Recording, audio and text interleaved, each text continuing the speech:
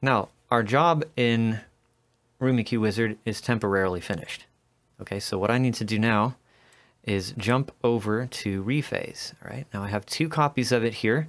This one's going to be for the left channel and this one is going to be for the right channel. So let's start on the left. You can go to import measurement here or you can come over to measurement, import from file here. Uh, either way, we'll do the same thing. It's going to get you to this screen where we select our folder and we're looking for the excess phase file that we just saved. All right, so since I'm working on the left speaker, I'm going to go ahead and grab excess phase MP left, open. All right, so that opens up. Uh, my range is 20 hertz to 20,000 hertz. Okay. Uh, my number of taps is 65536. Keep the rest of this the same. Change this to Blackman Harris. Change the rate to 96K.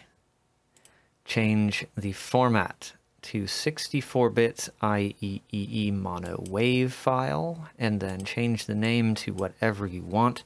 I'm simply going to call mine um, uh, tutorial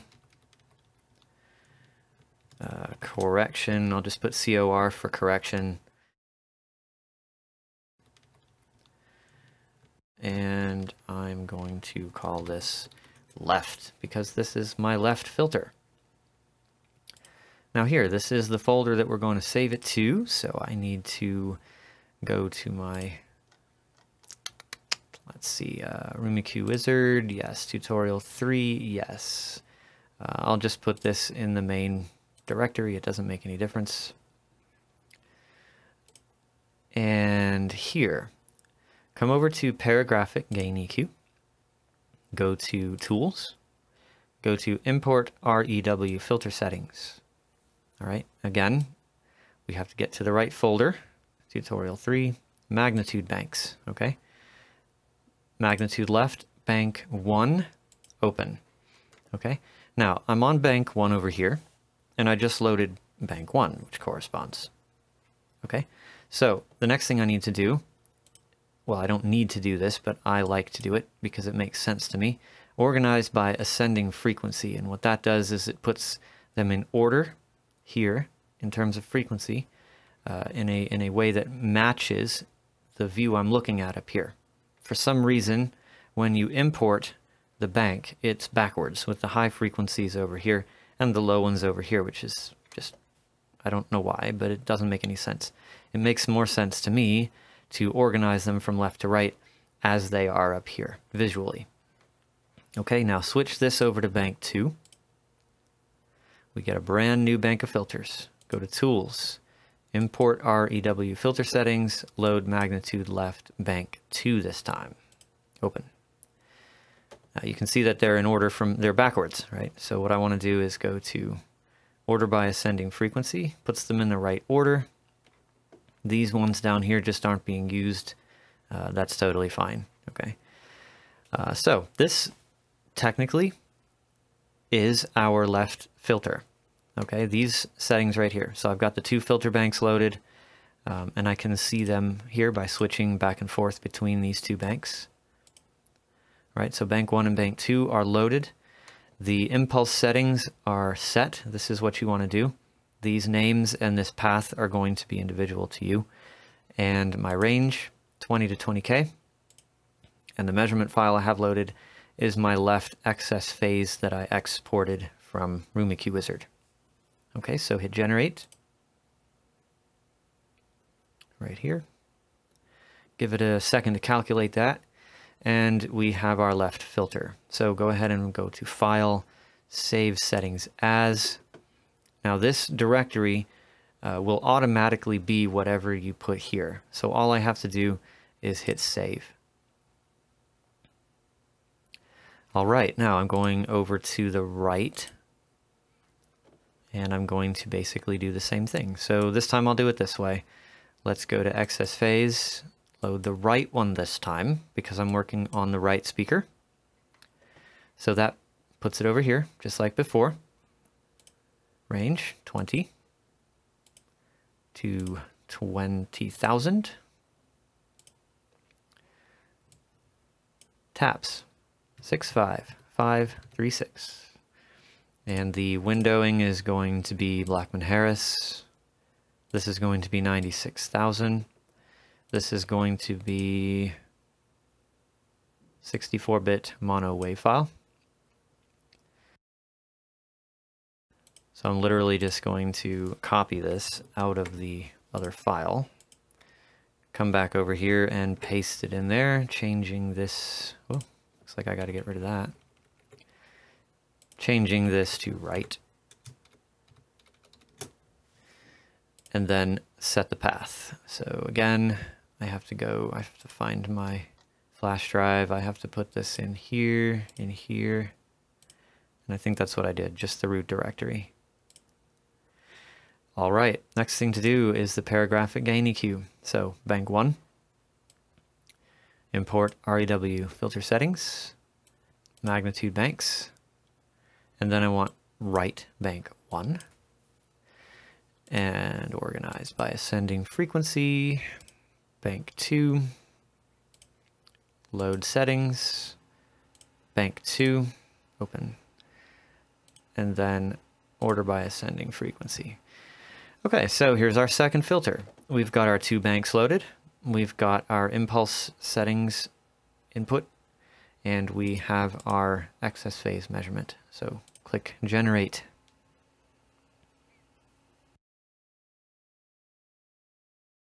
All right, so this gives us the right speaker filter, and I'm going to save these settings.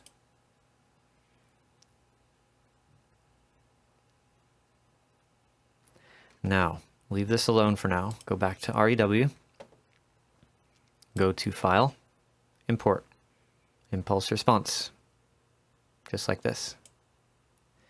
Okay, and go to the uh, location of your filters. And I'm going to load in the left filter. I just saved these out of rephase. I'm going to load the right filter. So import impulse response, grab the right one, open it. Okay, so now I have this again. Let me uh, color code these. We can't have them backwards now, can we? Now, go to trace arithmetic. Okay, load magnitude left as A, and then the left filter as B. Change this to multiplication. Click Generate. We get a new measurement down here called A times B. I'm going to change this to filtered left. This is a literal preview of the filter because I'm taking the filter data and I'm multiplying it by the original response, and it gives me the corrected preview, uh, the filtered preview. So I could also call this uh, filtered left preview. It's basically as descriptive as it gets. Come over here, select magnitude R, select the right filter, multiply, generate. So I'll just take this and change change this to right and give it some blue color. All right, now let me get these windows out of the way and we'll take a look at what we've got. Okay, let me go ahead and clear my selections because it's getting a little messy. So let me center this thing back around 75 make sure they're visible.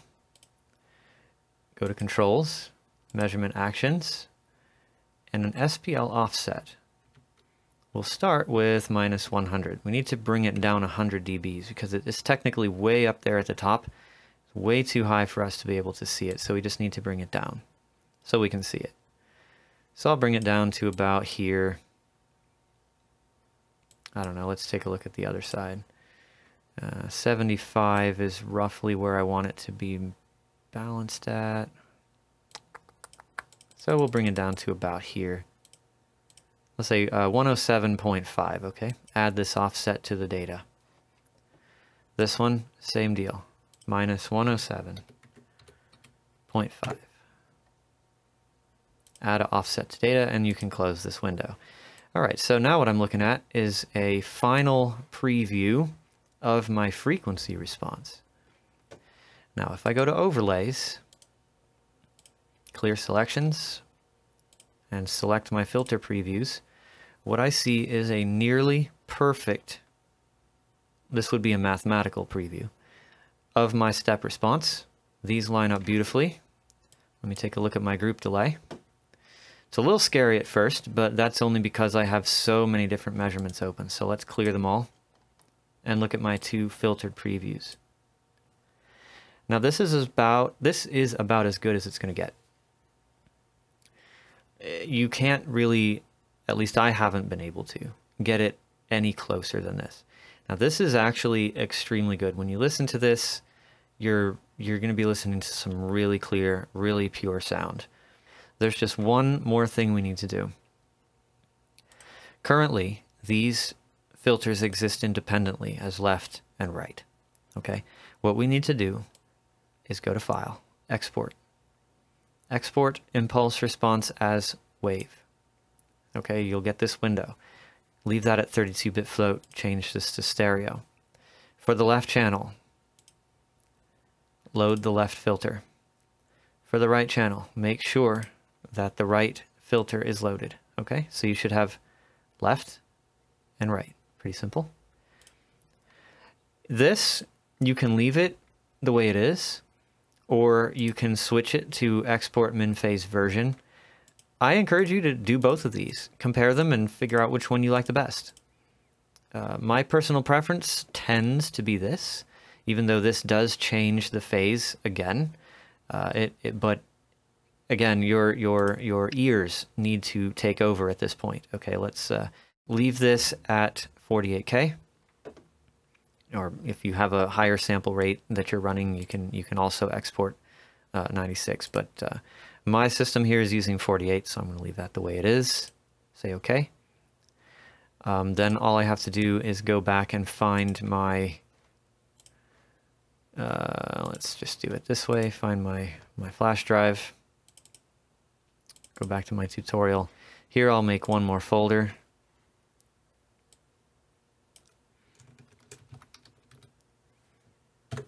All right, and I will go ahead and save my filter in here. Now this, this mess, this name basically includes both filters. So it's tutorial uh, correction 96 left, tutorial correction 96 right. What I'm going to do is just take half of this off so the name's not so long and all I'll do is change this to stereo. All right, so what this is going to do is give me a single stereo filter that contains the left correction data in the left channel and the right correction data in the right channel. Okay, and that's it. The only thing I have to do now is load the filter into a convolution application that can be used to filter my audio.